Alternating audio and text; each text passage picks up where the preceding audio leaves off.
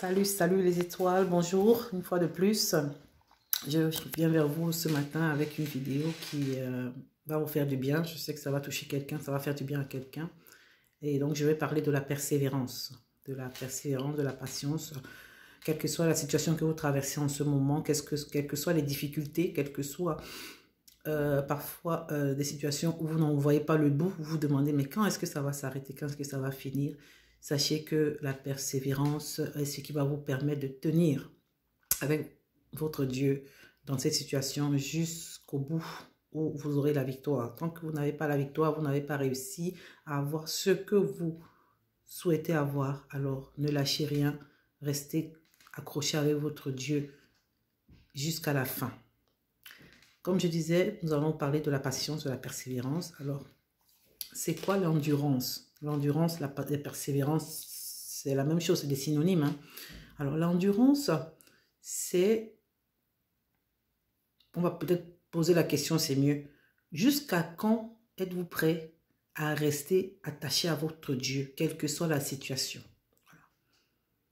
Posez-vous cette question. Jusqu'à quand Jusqu'à jusqu'à où Jusqu'à quel niveau suis-je prête à rester, à demeurer avec mon Dieu? Quel que soit ce qui se passe autour de moi, quel que soit ce qui se passe dans ma vie, quel que soit ce qui se passe dans ma famille, est-ce que je pourrais tenir? Voilà.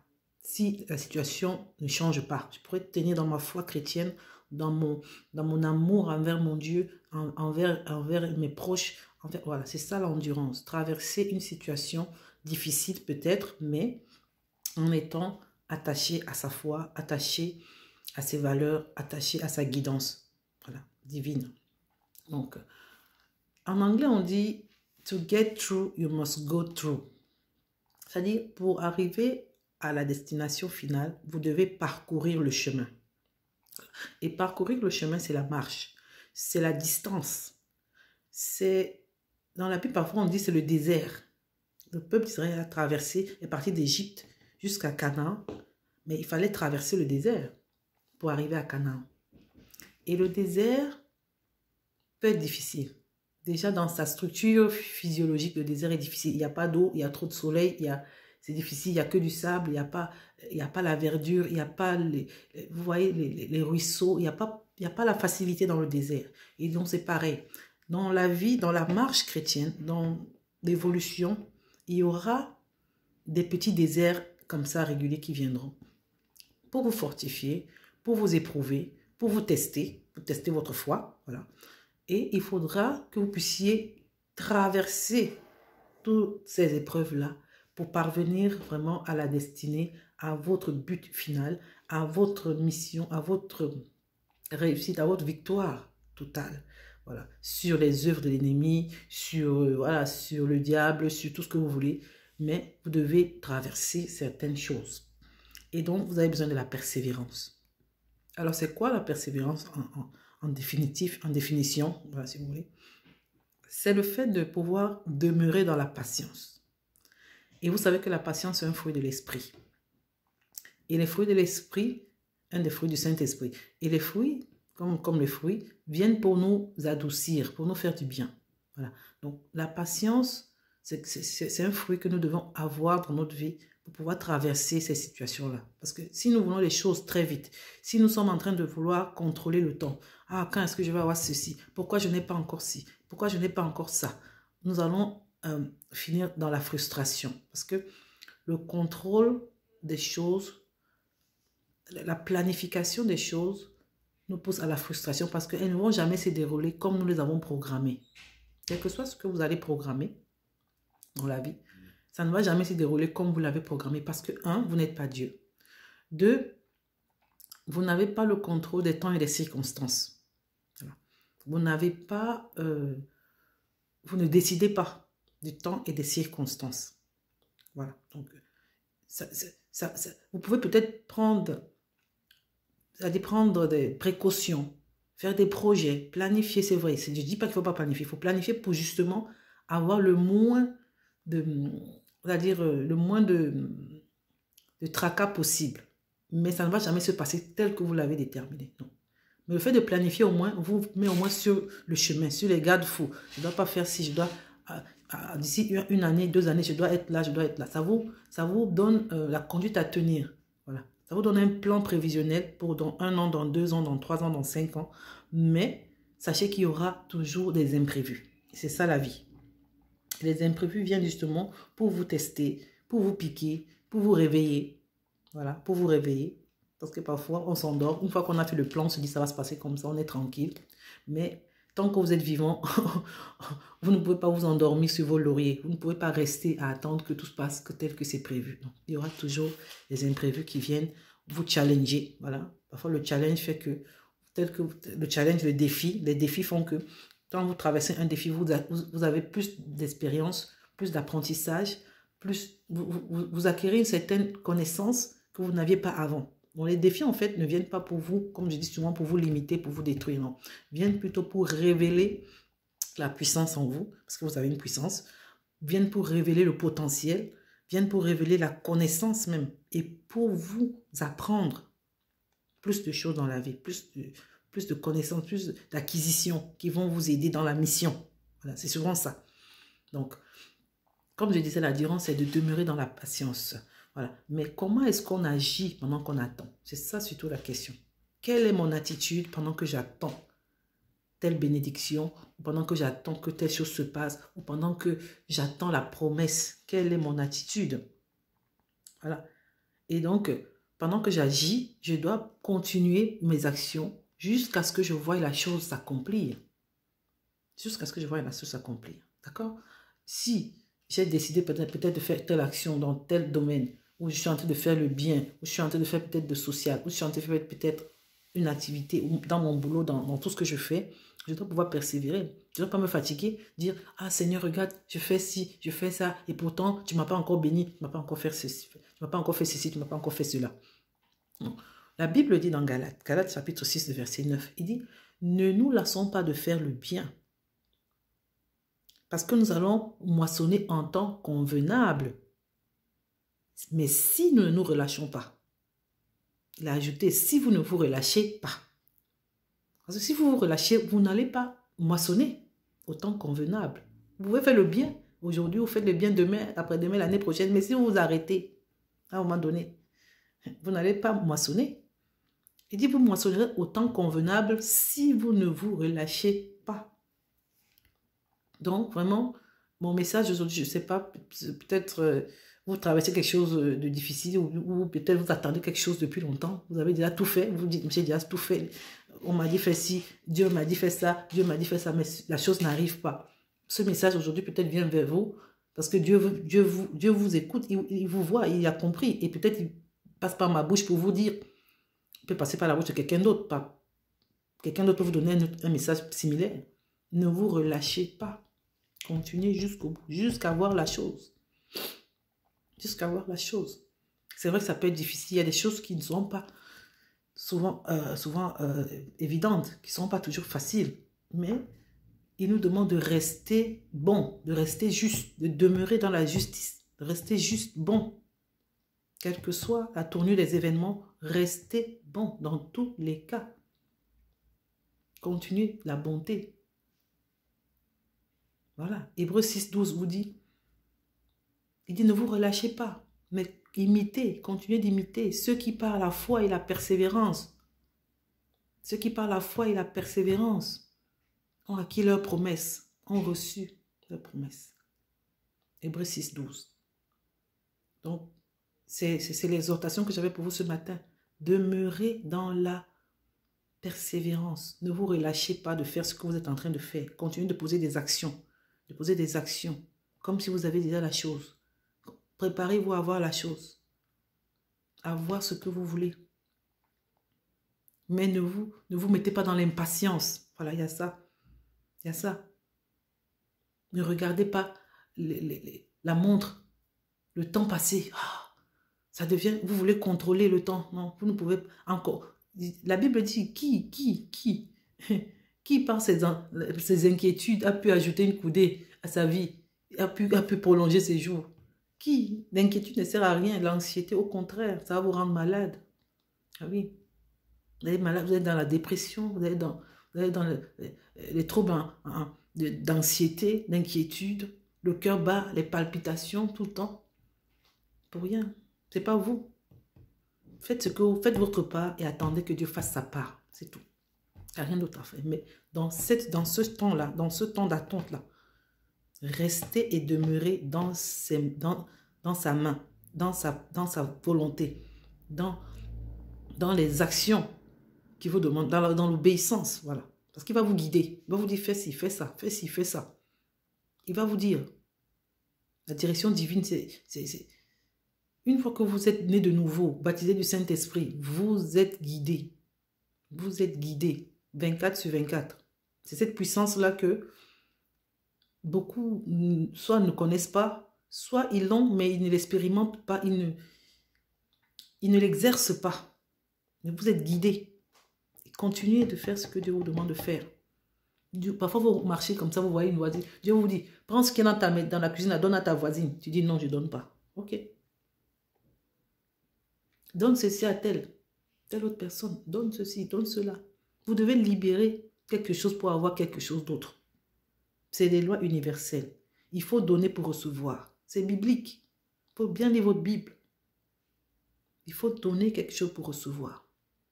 Ce n'est pas du développement personnel. Hein. Et même, beaucoup de développement personnel se retrouve dans la Bible. Oui. Quand on vous dit, euh, agissez comme si vous avez déjà la chose. C'est la loi de l'attraction. Il faut relâcher pour recevoir.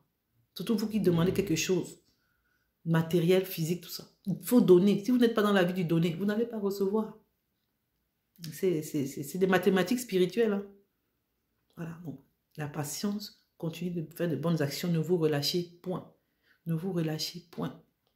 Parce que la vie va vous tester et va vous éprouver. Mais si vous demeurez fidèle, fidèle à vos actions, à la parole de Dieu. Rien ne pourra vous échapper. Tout ce qui est à vous sera à vous. Vous allez toucher tout ce qui est à vous. D'accord? Et puis, pour finir, nous allons lire dans Hébreu 10, 36 qui dit Car vous avez besoin de persévérance afin qu'après avoir accompli la volonté de Dieu, vous obteniez ce qui vous a été promis, que vous obteniez vos promesses. Il y a tellement de promesses dans la parole de Dieu tellement. C'est-à-dire, même, même, une journée ne suffirait pas pour qu'on en parle. Tellement de promesses.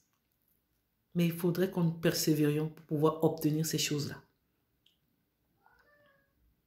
Ayez peur de... Et, et, et, c'est vrai, il y a des gens qui ont peur de changer, de s'engager. Il y a des gens aussi qui ont peur de rester au même endroit, de rester sur place, à stagner. Mais c'est mieux d'avancer, de continuer de faire ce que vous avez à faire, jusqu'à ce que vous voyez la chose que de rester sur place à ne rien faire. Moi, j'ai peur. J'ai peur des gens qui, qui, restent une année, deux années, cinq années à tourner autour de, la même situation, à tourner autour de... dans leur vie, c'est-à-dire la vie, cinq, cinq ans. Vous, les avez connus en 2017. Vous revenez en 2022. Les gens, ils sont au même niveau. Hein. Même niveau, quoi. Mais quand même. Bougez, bougez. C'est que soit ils ne sont pas guidés, et Saint-Esprit, n'y a même pas. Soit c'est que, bon, même niveau, que soit dit, il y a des gens comme ça, 5 ans. Si en 5 ans, vous n'avez rien changé dans votre vie, là, il y a un problème. C'est-à-dire, si même physiquement rien n'a changé, spirituellement, quelque chose doit avoir changé. Quelque chose doit avoir changé. Si financièrement, même quelque chose, même financièrement, ça va changer, ça doit changer. Si, ça change spirituellement, ça veut dire que physiquement, ça va changer aussi, financièrement, ça va changer. Donc, attaquez d'abord le côté spirituel. Si rien ne change, en cinq ans, vous devez montrer ce que vous avez fait. Je suis passé de là à là.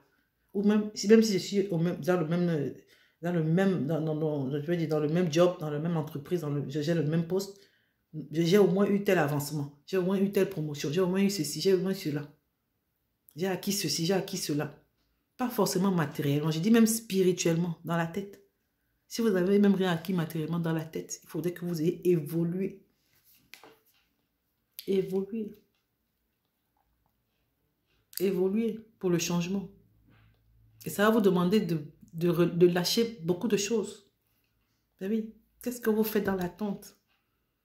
Dans l'attente. Qu'est-ce qui, me retient? Qu'est-ce qui, fait que mon attitude, dans mon attitude, je n'ai pas encore reçu ce que je veux? Est-ce que c'est des mauvaises amitiés? Est-ce que vous êtes prêts? Qu'est-ce que vous êtes prêts à lâcher pour avoir ce que Dieu vous promet? Est-ce que vous êtes prêts à lâcher un ami, des amis? Est-ce que vous, que vous êtes prêts à ça? Jusqu'où vous êtes prêts à aller avec Dieu pour accomplir ce qu'il vous demande d'accomplir? Pour recevoir ce qu'il veut vous donner Est-ce que vous êtes prêts à, à perdre un ami comme je disais des amis, des amis, il y en a toujours. Si vous en perdez maintenant, vous en gagnerez de l'autre côté quand vous serez... Voilà, c'est ça. Quand vous allez réussir, ils vont vous suivre. Il y en aura toujours. Il y en a toujours. Les bons comme les mauvais. Maintenant, c'est à vous de vous séparer des mauvais pour avoir des bons. Sinon, les amis, il y en a toujours. Si vous avez des amis, quand vous vous retrouvez avec eux, vous vous sentez mal, ou bien vous, vous, devez faire semblant pour leur plaire, pour avoir de la valeur devant eux. Vous devez faire semblant, vous devez vivre une vie, une double vie pour pouvoir euh, euh, être ami avec eux. Parce que sinon, ils vous sortent de leur cercle d'amis. Si vous ne leur ressemblez pas, vous êtes obligé de, de, tomber dans des trucs bizarres, de, vivre une autre vie. Pour pouvoir, ah, oh, faut, faut que, je, faut, faut que je reste ami avec tel. Sinon, ouais, si j'ai... Non, vous n'êtes pas venu, vous n'êtes pas, vous n'êtes pas jumeaux, même les jumeaux, vous n'êtes pas si à moi, vous n'êtes pas collés. Chacun a sa destinée. Hein. J'ai toujours dit ça. Le salut individuel. Le salut là. Même les jumeaux ne sont pas sauvés le même jour. Sauf s'ils ont donné leur vie à Christ le même jour. Mais combien de fois amis Amis, c'est quoi C'est même pas famille. La famille, au moins, vous êtes obligés. C'est-à-dire que même Dieu vous a obligé à, lier vos destinées ensemble dans la même famille. Mais amis, là, il n'y a rien. Rien qui vous lie vraiment. C'est vous-même. C'est vous-même qui vous traînez des fardeaux. Est-ce que vous êtes prêts à perdre un ami, à perdre un, emploi? Quand vous perdez un emploi, ce n'est pas, pas toujours la fin du monde. Parfois, Dieu vous enlève de cet emploi pour, pour que vous puissiez maintenant développer vos propres talents, vos propres capacités, vos propres potentiels. Pour trouver un meilleur travail plus tard. Est-ce que vous êtes prêts Si c'est peut-être ce poste-là. Si vous êtes dans un poste que c'est vous qui volez l'argent. Vous êtes comptable quelque part, c'est vous qui volez l'argent tout le temps. Vous volez, vous volez, vous volez. Vous... Ça, ça vous bloque. Vous allez avoir le petit, petit argent que vous touchez de la corruption là. Ça va vous donner quoi? Vous mangez ça, après vous êtes malade. Vous dépensez le même argent pour vous soigner. Vous dépensez le même argent pour vous souffrir. Vous tournez dans ça. Vous n'avez pas la paix. Surtout la paix. Est-ce que vous êtes prêt à quitter ce travail-là pour aller dans un travail où vous n'aurez pas à faire ça? Est-ce que vous êtes prêt à laisser laisser ce que Dieu, ne veut pas.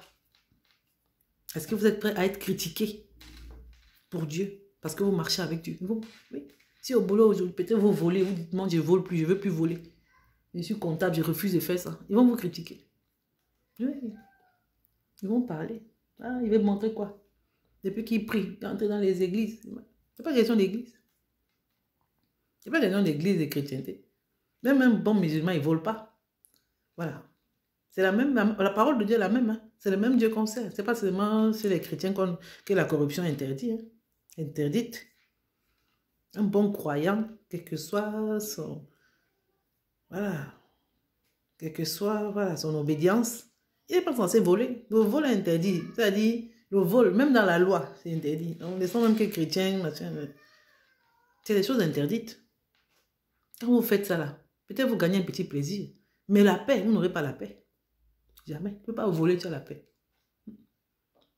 Il suffit que quelqu'un te regarde comme ça, tu vas te dire, ah, peut-être il me regarde parce qu'il sait, il sait que j'ai volé. Mais tu n'as pas la paix. on ne te poursuit pas, toi-même tu fuis. Il y a un verset qui dit ça. Il y a des gens qui fuient sans qu'on les poursuive. il a peur. Il a peur. Il connaît. Il sait ce qu'il a fait. Qu'est-ce que vous êtes prêt à perdre? Il ne faut pas être dans la compromission, toujours en train de compromettre faire des choses que vous n'avez pas envie de faire, juste parce que oh, je veux gagner l'argent, je veux qu'on m'apprécie, je veux, je veux avoir un peu de valeur. Vous n'avez pas besoin que les gens vous donnent de la valeur. Dieu vous aime, ça vous suffit. Ça vous donne assez de valeur comme ça. Donc, vraiment, arrêtez, arrêtez ces choses-là. Ça bloque vos bénédictions, vos promesses. Dans l'attente, dans la patience, là, il faut arrêter ces choses-là. Vraiment, c'est ce que j'avais pour vous aujourd'hui comme message. J'espère que ça va édifier quelqu'un, ça va aider quelqu'un. Vraiment, que Dieu vous bénisse. Que Dieu vous bénisse vraiment. Puis à la prochaine.